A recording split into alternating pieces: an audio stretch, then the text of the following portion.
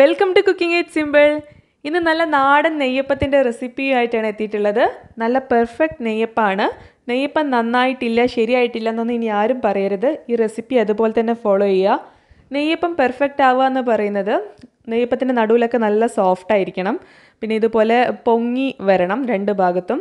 നമ്മൾ നെക്കി കഴിഞ്ഞാൽ നടുഭാഗം നല്ല സോഫ്റ്റ് ആയിരിക്കണം. അതുപോലെ മുറിക്കുമ്പോൾ ഈസിയായിട്ട് മുറിക്കാൻ പറ്റണം. അകത്ത് ഇതുപോലെ ആരുകളുള്ള മാവായിരിക്കണം. നന്നായിട്ട് വെന്തിട്ടുണ്ടാവണം. പിന്നെ അറ്റമൊക്കെ നല്ല ക്രിസ്പി ആയിട്ട് നല്ല മൊരിഞ്ഞിരിക്കണം. കണ്ടോ? ഇതുപോലെ തന്നെ ആയി കിട്ടണം. അപ്പോൾ ഈ നെയ്യപ്പം എങ്ങനെയാണ് ഉണ്ടാക്കുന്നത് നമുക്ക് നോക്കാം. ഇതിനായിട്ട് ഒന്നര കപ്പ് പച്ചരി ഞാൻ നന്നായിട്ട് കഴുകി എടുത്തിട്ടുണ്ട് പച്ചരി അല്ലെങ്കിൽ ബസ്മതി അരി നിങ്ങൾക്ക് ഇതിനായിട്ട് ഉപയോഗിക്കാം. ഇതിനുശേഷം ഇത് ഒരു മിനിമം നാല് മണിക്കൂറെങ്കിലും വെള്ളത്തിൽ കുതിർത്ത് വെക്കണം. തലേന്ന് രാത്രി കുതിർത്ത് വെക്കുകയാണെന്നുണ്ടെങ്കിൽ അത്രയും നല്ലത്. മിനിമം നാല് മണിക്കൂറെങ്കിലും കുതിർത്ത് വെക്കുക. നിങ്ങൾക്ക് വേണമെങ്കിൽ വറുക്കാത്ത പച്ചരിപ്പൊടിയിലും നെയ്യപ്പം ചെയ്യാം. പക്ഷേ നല്ല പെർഫെക്റ്റ് നെയ്യപ്പം കിട്ടണമെന്നുണ്ടെങ്കിൽ ഇതുപോലെ തന്നെ അരി കുതിർത്തിട്ട് വേണം ഉണ്ടാക്കിയെടുക്കാനായിട്ട്. അപ്പോൾ ഈ അരി കുതിർക്കാനിട്ട സമയത്ത് തന്നെ ഞാൻ ശർക്കര ഒന്ന് അലിയിച്ചെടുക്കുന്നുണ്ട്. ഞാനിപ്പോൾ രണ്ട് വലിയ അച്ച് അതായത് ഇരുന്നൂറ്റി അൻപത് ഗ്രാം ശർക്കരയാണ് എടുത്തിട്ടുള്ളത്. ഇത് ഞാൻ ചെറിയ അമ്മിയിൽ വെച്ചിട്ട് ഒന്ന് കുത്തിയിട്ടുണ്ട്. ഇതിലേക്ക് അര കപ്പ് വെള്ളം കൂടെ ചേർത്തിട്ട് നമുക്കിത് നന്നായിട്ടൊന്ന് അലിയിച്ചെടുക്കാം. അടുപ്പത്ത് വെച്ചിട്ട് സാധാരണ നിങ്ങൾ ശർക്കര പാനിയാക്കുന്ന പോലെ പാനിയാക്കി എടുത്താൽ മാത്രം മതി.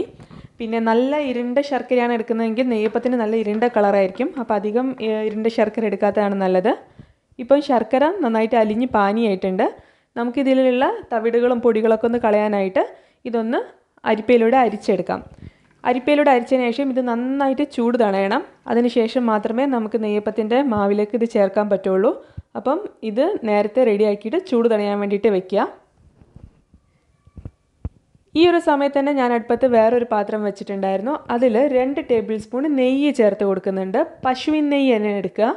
അപ്പോഴേ നെയ്യപ്പത്തിന് നല്ല ആ നെയ്യിന്റെ ടേസ്റ്റ് ഉണ്ടാവുള്ളൂ. ഇനി ഞാൻ ഇതിലേക്ക് ഒരു രണ്ട് ടേബിൾ സ്പൂൺ അളവിൽ തേങ്ങ ചിരകിയത് ചേർക്കുന്നുണ്ട്. തേങ്ങാക്കൊത്ത് ഇഷ്ടമുള്ളവർക്ക് തേങ്ങാക്കൊത്ത് തന്നെ ചേർത്ത് കൊടുക്കാം. പച്ച തേങ്ങയാണെങ്കിലും ഉണങ്ങി തേങ്ങയാണെങ്കിലും കുഴപ്പമില്ല. പക്ഷേ എനിക്ക് പൊതുവേ ഇഷ്ടം ഈ തേങ്ങ ചിരകിയത് ചേർക്കാനാണ്. അതുപോലെ തന്നെ നെയ്യപ്പത്തിന് കാണാനും നല്ല ഭംഗിയായിരിക്കും. തേങ്ങ ചിരവിയത് ഇടുമ്പോൾ തേങ്ങ കൊത്താകുമ്പം നമ്മൾ ഫ്രൈ ചെയ്ത് കഴിഞ്ഞാലൊക്കെ മുകളിൽ ഇങ്ങനെ കാണാനുള്ള ചാൻസ് ഉണ്ട്. ഏകദേശം ഈ ഒരു കളറായി കഴിഞ്ഞാൽ അപ്പം തന്നെ ഫ്ലെയിം ഓഫ് ചെയ്യുക. കാരണം പിന്നെ ആ ചൂട് കിടന്നിട്ട് തന്നെ നമ്മുടെ തേങ്ങ ഒന്നും കൂടി ഡാർക്കർ കളറാവും ഈ ഒരു ഫ്ലെയിം ആയിക്കഴിഞ്ഞാൽ ഫ്ലെയിം ഓഫ് ചെയ്യാം. ഞാനിതിലേക്ക് ഒരു കാൽ ടീസ്പൂണ് ചുക്കിന്റെ പൊടി ഇട്ട് കൊടുക്കുന്നുണ്ട്. നല്ലൊരു ഫ്ലേവറാണ് ചുക്കിന്റെ പൊടി ചേർത്ത് കഴിഞ്ഞാൽ ചുക്ക് നിങ്ങൾക്ക് ഇഷ്ടമില്ല എന്നുണ്ടെങ്കിൽ അത് ഒഴിവാക്കാം. ഇനി നമുക്ക് ഇതിലേക്ക് വേണ്ടത് അര ടീസ്പൂൺ അളവിൽ ഏലക്ക പൊടിച്ചതാണ്. ഞാൻ കുറച്ച് പഞ്ചസാര കൂട്ടിയിട്ട് ഏലക്ക പൊടിച്ച് വെച്ചിട്ടുണ്ടായിരുന്നു. അതിൽ നിന്നാണ് ഇപ്പോൾ അര ടീസ്പൂൺ ഏലക്ക പൊടിച്ചത് ഇതിലേക്ക് ഇട്ട് കൊടുത്തിട്ടുള്ളത്. ഇനി നമുക്ക് ഇതിലേക്ക് അര ടീസ്പൂൺ നല്ല ജീരകം കൂടെ ഇട്ട് കൊടുക്കാം. ഇനി നമുക്കിതിലേക്ക് ഒരു ടീസ്പൂൺ അളവിൽ കരിഞ്ജീരകം ചേർത്ത് കൊടുക്കാം. നല്ലൊരു ഫ്ലേവറാണ് കരിഞ്ജീരകം നെയ്യപ്പത്തിൽ ഇനി നിങ്ങൾക്ക് കരിഞ്ജീരകം ഇഷ്ടമില്ല എന്നുണ്ടെങ്കിൽ കറുത്ത എള്ള് ചേർത്ത് കൊടുത്താൽ മതി. ഇനി നമുക്ക് ഇതൊന്ന് ചൂട് തണയാൻ വേണ്ടിയിട്ട് വെക്കാം. ഇപ്പം ഏകദേശം നാല് മണിക്കൂർ കഴിഞ്ഞിട്ടുണ്ട്. അപ്പോൾ കണ്ടോ നമ്മുടെ അരിയൊക്കെ നന്നായിട്ട് കുതിർന്നിട്ട് കൈകൊണ്ട് ഇങ്ങനെ തൊടുന്ന സമയത്ത് തന്നെ പൊടിഞ്ഞു വരുന്നുണ്ട്. ഈ ഒരു പാകത്തിൽ നന്നായിട്ട് കുതിർന്നിട്ട് തന്നെ കിട്ടണം. ഇനി നമുക്ക് ഇത് ഊറ്റിയിട്ട് മിക്സിയുടെ വലിയ ജാറിലേക്ക് ഇട്ട് കൊടുക്കാം. എന്നിട്ട് നമ്മൾ നേരത്തെ പാനിയാക്കി വെച്ചിട്ടുള്ള ശർക്കര കൂടെ ഇതിലേക്ക് ചേർത്ത് കൊടുക്കാം. അപ്പോൾ ശർക്കര നന്നായിട്ട് തണുത്തിട്ടുണ്ടാവണം. ഞാനിപ്പോൾ മുഴുവനായിട്ട് ചേർത്തിട്ടില്ല. ഒരു മുക്കാൽ ഭാഗത്തോളം ചേർത്തിട്ടുണ്ട്. കാരണം ഒരുപാട് ചേർത്ത് കഴിഞ്ഞാൽ അരച്ചെടുക്കാൻ ബുദ്ധിമുട്ടായിരിക്കും. ഇത് നന്നായിട്ട് അരച്ചെടുക്കണം. പക്ഷേ ഇതിൽ തരിയും ഉണ്ടാവണം. അതായത് പുട്ടിന്റെ പോലത്തെ ഒന്നും അത്ര വലിയ തരികൾ വേണ്ട. നോക്കിക്കഴിഞ്ഞാൽ തരികൾ കാണരുത്. പക്ഷേ നിങ്ങളിപ്പം കൈ കൊണ്ട് ഒന്ന് തൊട്ട് നോക്കുകയാണെന്നുണ്ടെങ്കിൽ തരി ഫീൽ ചെയ്യണം. അപ്പോഴേ നമുക്ക് നെയ്യപ്പത്തിൽ ആരുകൾ ഉണ്ടാവുള്ളൂ. അപ്പം നോക്കുമ്പം നമുക്ക് തരി തരിയൊന്നും കാണില്ല എന്നുണ്ടെങ്കിലും കൈ കൊണ്ട് തൊട്ട് നോക്കുന്ന സമയത്ത് ചെറിയ ചെറിയ തരികൾ കാണാൻ പറ്റണം. ഈ ഒരു പാകത്തിൽ വേണം അരച്ചെടുക്കാനായിട്ട്. ഇനി ഞാനിതിലേക്ക് ഒരു വൺ തേർഡ് കപ്പ് മൈദ കൂടെ ചേർക്കുന്നുണ്ട്. നിങ്ങൾ ഏത് കപ്പിലാണോ അരി അളന്നിട്ടുള്ളത് അതിന്റെ മൂന്നിലൊരു ഭാഗം കണക്കാക്കിയിട്ട് മൈദപ്പൊടി ഇട്ടിട്ട് അത് നമുക്ക് മിക്സിയുടെ ജാറിലേക്ക് ഇട്ട് കൊടുക്കാം. അതുപോലെ തന്നെ ഒരു കാൽ ടീസ്പൂൺ ഉപ്പ് കൂടെ ഇട്ട് കൊടുക്കുന്നുണ്ട്. എന്നിട്ട് നമുക്കിത് ജസ്റ്റ് ഒന്ന് മിക്സ് ആവാൻ വേണ്ടി മാത്രം കറക്കിയെടുക്കാം. ഇപ്പോൾ കണ്ടല്ലോ നമ്മുടെ മാവ് നന്നായിട്ട് തിക്കായിട്ട് റെഡിയായി വന്നിട്ടുണ്ട്. ഇപ്പം കുറച്ച് നല്ല തിക്കായിട്ടാണ് മാവുള്ളത്. അപ്പം ഞാൻ എന്താ ചെയ്യുന്നത് വെച്ച് കഴിഞ്ഞാൽ നേരത്തെ നമ്മൾ ബാക്കി ഉണ്ടായിരുന്ന ആ ശർക്കര പാനി കൂടെ ഇതിലേക്ക് ഒഴിച്ചു കൊടുക്കുകയാണ് ചെയ്യുന്നത്. ആദ്യം പാനി ചേർക്കാതിരുന്നത് ഞാൻ പറഞ്ഞല്ലോ നമ്മൾ അരിയൊന്നും നമുക്ക് കറക്റ്റായിട്ട് അരിഞ്ഞ് കിട്ടൂല അതുകൊണ്ടാണ്.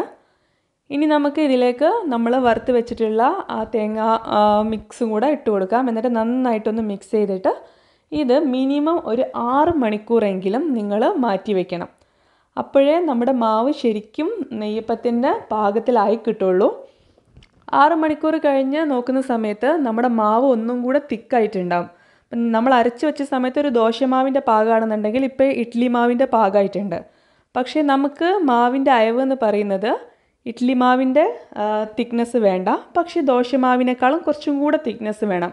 അപ്പം ഞാനിതിലേക്ക് കുറച്ച് വെള്ളം ചേർത്തിട്ട് നന്നായിട്ടൊന്ന് മിക്സ് ചെയ്യാണ്. മാവിന്റെ പാകം കറക്റ്റ് ആയാലേ നമ്മുടെ നെയ്യപ്പം നന്നായിട്ട് വരുള്ളൂ. ഇപ്പം നിങ്ങൾക്ക് നോക്കിയാൽ കാണാൻ പറ്റും. മാവ് അങ്ങനെ ഒഴിക്കാൻ പറ്റുന്നുണ്ട്. പക്ഷേ ഇപ്പോഴും മുറിഞ്ഞ് മുറിഞ്ഞിട്ടാണ് വീഴുന്നത്. അപ്പം നമുക്കിതൊരു ഫ്ലോയിൽ തന്നെ വേണം. അപ്പം ഞാൻ കുറച്ചും കൂടെ വെള്ളം ചേർത്തിട്ടുണ്ട്.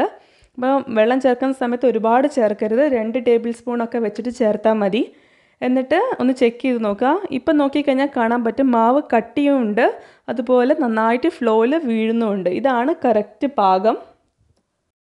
നെയ്യപ്പം ചുടാനായിട്ട് എപ്പോഴും ഇരുമ്പിന്റെ അത്യാവശ്യം കുഴിയുള്ള ഒരു ചീനച്ചട്ടി എടുക്കുന്നതാണ് നല്ലത്. അങ്ങനത്തെ ചീനച്ചട്ടി തന്നെ എടുക്കാൻ പ്രത്യേകം ശ്രദ്ധിക്കുക. അതുപോലെ തന്നെ നന്നായിട്ട് എണ്ണയും വേണം. സാധാരണ നെയ്യപ്പം നെയ്യിലാണ് ഫ്രൈ ചെയ്യുന്നത്. നെയ്യല്ലാന്നുണ്ടെങ്കിൽ നിങ്ങൾക്ക് വെളിച്ചെണ്ണയോ റിഫൈൻഡ് ഓയിലോ ഇതിന് വേണ്ടിയിട്ട് ഉപയോഗിക്കാം. ഞാനിപ്പോൾ ഓയിലാണ് എടുത്തിട്ടുള്ളത്. എണ്ണ നന്നായിട്ട് ചൂടായ ശേഷം മാത്രം നെയ്യപ്പത്തിന്റെ മാവ് ഒഴിക്കുക. എണ്ണ ചൂടായോ എന്നറിയാൻ വേണ്ടിയിട്ട് ആദ്യം ഇതുപോലെ ഒരു തുള്ളി മാവ് ഉറ്റിച്ചു കൊടുത്തു കഴിഞ്ഞാൽ മാവ് ഒരു അഞ്ച് സെക്കൻഡിന്റെ ഉള്ളിൽ തന്നെ മേലോട്ട് പൊങ്ങി വരികയാണെന്നുണ്ടെങ്കിൽ എണ്ണ കറക്റ്റായിട്ട് ചൂടായി വന്നിട്ടുണ്ടെന്നാണ് ഒരു ലോ ടു മീഡിയം ഫ്ലെയിമിൽ വെച്ചിട്ട് വേണം മാവ് ഒഴിക്കാനായിട്ട്. മാവ് ഒഴിച്ച് ഒരു പത്ത് സെക്കൻഡിനുള്ളിൽ തന്നെ നിങ്ങളുടെ നെയ്യപ്പം മുകളിലേക്ക് പൊങ്ങി വരും. അതുപോലെ തന്നെ നെയ്യപ്പം ഒന്ന് പഫായിട്ട് വീർത്തും വരും. ഇങ്ങനെ വന്നു കഴിഞ്ഞാൽ അപ്പം തന്നെ ഫ്ലെയിം ലോ ആക്കിയിട്ട് വെക്കുക. ഏറ്റവും ചെറിയ തീയിലേക്ക് വെക്കുക. അതിനുശേഷം ഒരു സ്പൂൺ ഉപയോഗിച്ചിട്ടോ കോരി ഉപയോഗിച്ചിട്ടോ എണ്ണ ഇതുപോലെ നെയ്യപ്പത്തിന്റെ മുകളിലേക്ക് ഇങ്ങനെ തുളുമ്പി കൊടുക്കുക. അങ്ങനെ തുളുമ്പി കൊടുക്കുമ്പോൾ നമുക്ക് പെട്ടെന്ന് തന്നെ നെയ്യപ്പം രണ്ട് വശത്തും ഈക്വലായിട്ട് വെന്ത് കിട്ടും. പിന്നെ നെയ്യപ്പത്തിന്റെ അറ്റത്ത് ചെറുതായിട്ട് ബ്രൗൺ കളർ കാണുന്ന ആ ഒരു സമയമായി കഴിഞ്ഞാൽ നെയ്യപ്പം മറിച്ചിടുക. എന്നിട്ട് തിരിച്ചും മറിച്ചിട്ട് ചെറിയ തീയിൽ നെയ്യപ്പം വേവിച്ചെടുക്കുക. ഉണ്ണിയപ്പത്തിന്റെ പോലെയല്ല നെയ്യപ്പം വേവാൻ കുറച്ചധികം സമയമെടുക്കും. ഒരു രണ്ട് മുതൽ മൂന്ന് മിനിറ്റ് വരെ ഒരു നെയ്യപ്പം വേവാനായിട്ട് എടുക്കും.